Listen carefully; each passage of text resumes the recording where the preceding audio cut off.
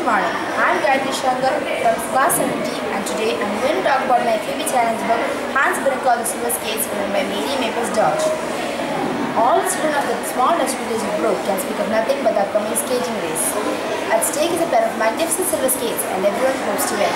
Everyone but Hans Brinker and his sister Gretel.